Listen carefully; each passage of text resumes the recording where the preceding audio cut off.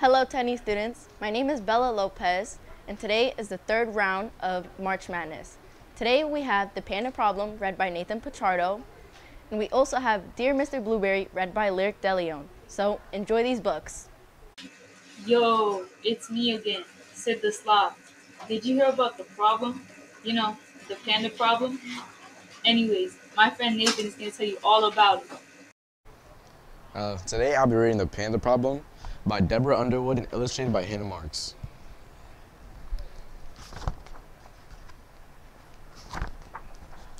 Once upon a time, there was a panda who lived in a beautiful bamboo grove. But the panda had a big problem.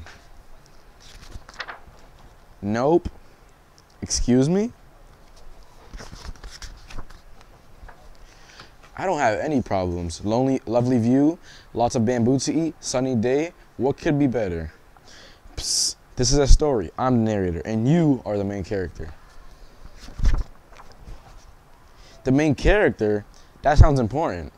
It is, but you need a problem. Why? So you can solve the problem. That's how stories work. So, what's your problem? Do you want to go somewhere? Nope. Are you afraid of spiders? Nope. Do you need a friend? Uh, nope. Do you wish you could fly? Nope. Do you wish you were green? Nope. Is your paw sore? Oh, let me check. Nope. How am I supposed to tell a story if you don't have a problem? I don't know. Looks like you're the one with the problem, buddy. Hey, maybe you are the main character and I am your problem. What? Ridiculous. You're right. How could a sweet little panda like me be a problem? Unless I started playing a banjo really badly. Hey, where did you get that? Where did you get that? And what if I hung upside down and sang the bamboo burp song? Bamboo brop, bamboo brop. You are definitely starting to feel like a problem.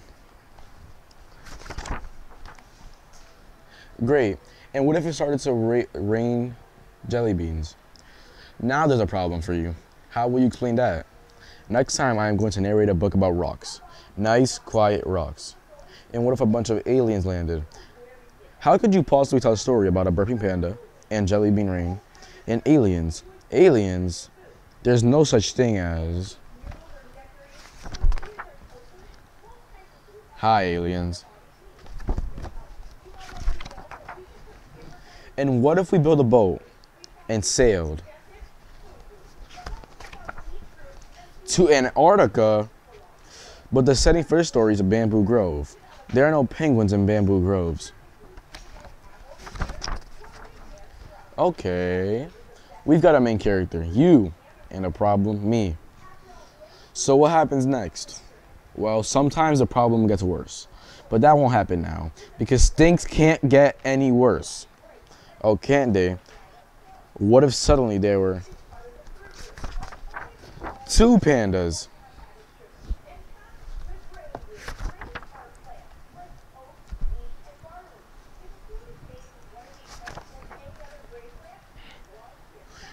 Wow, I'm tired and hungry. Very hungry.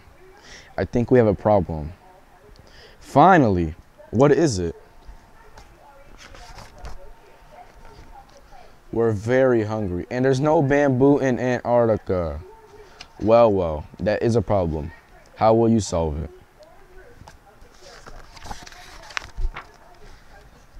I don't know. I'm too hungry to think straight. Glippity glorp. Hey, great idea, alien. Okay, narrator.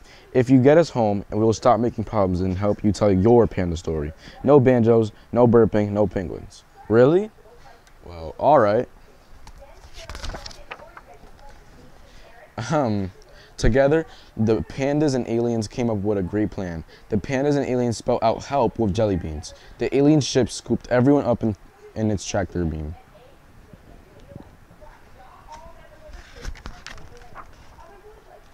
and dropped them safely back in the bamboo grove, where everyone settled to a bamboo and jelly bean feast. What a satisfying ending. Yeah, I'm really sleepy.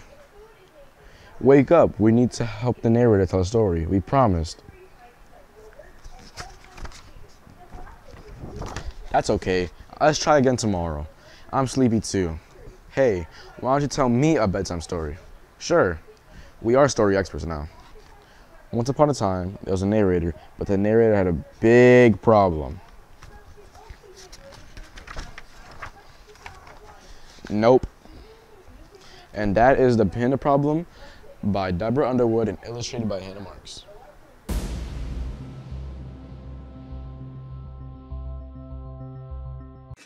Hey, it's me, Emily. My good friend Lyric will be reading about the whale in my backyard, Arthur. Hi, I'm Lyric DeLeon, and today you're going to be reading Dear Mr. Blueberry by Simon James.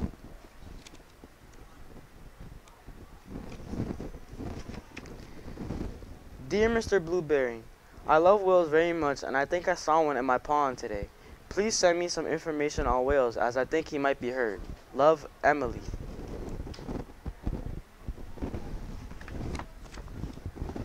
Dear Emily, here are some details about whales. I don't think you'll find it was a whale you saw because whales don't live in ponds, but in salt water. Yours sincerely, your teacher, Mr. Blueberry. Dear Mr. Blueberry, I'm now putting salt into the pond every day before breakfast, and last night I saw my whale smile. I think he is feeling better. Do you think he might be lost? Love, Emily.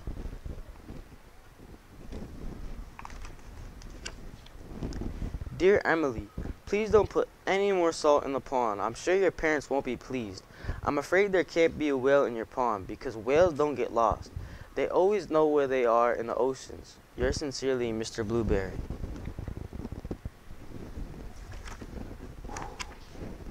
Dear Mr. Blueberry, tonight I am very happy because I saw my whale jump up and spurt lots of water. He looked blue. Does this mean he might be a blue whale? Love, Emily. P.S. What can I feed him with?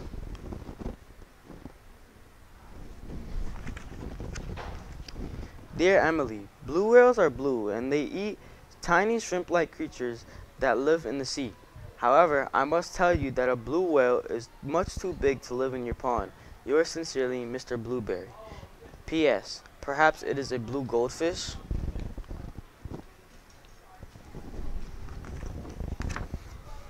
Dear Mr. Blueberry, last night I read your letter to my whale. Afterward, he let me stroke his head. It was very exciting. I secretly took him some crunched up cornflakes and breadcrumbs. This morning I looked in the pond and they were all gone. I think I should call him Arthur. What do you think? Love, Emily.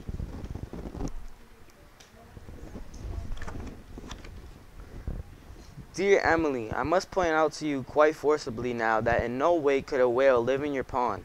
You may not know that whales are migratory, which means they travel great distances each day. I am sorry to disappoint you. Yours sincerely, Mr. Blueberry.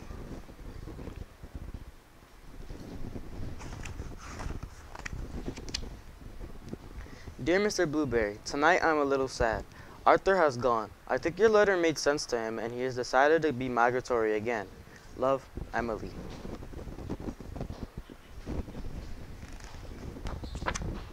Dear Emily, please don't be too sad. It really was impossible for a whale to live in your pond.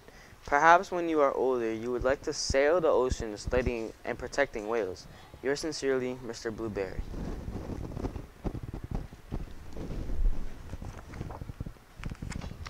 Dear Mr. Blueberry, it's been the happiest day. I went to the beach and you'll never guess, but I saw Arthur. I called to him and he smiled. I knew it was Arthur because he let me stroke his head. I gave him some of my sandwich.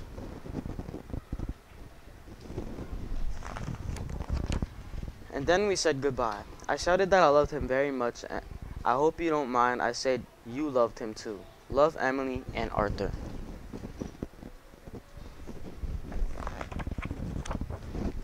The end.